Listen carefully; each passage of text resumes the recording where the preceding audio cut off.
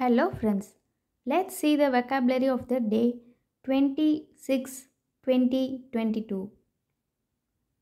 Annoyance, தொல்லை accomplice, உடன் குற்றவாளி புடில் குட்டை கம்மோஷன் குமுறல் ட்ரிப் தடுமாறியது டான் கிழிந்த டாக் கப்பல் கூடம் பிரேட் கடற்கொள்ளையர் ட்ரிஃப்ட் நகர்வு ஸ்குவாபிள் வீண் சண்டை டெக் கப்பல் மேல்தளம்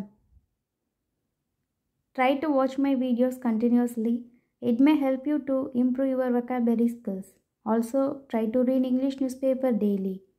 Like, share and comment if you like my videos. Thanks for watching.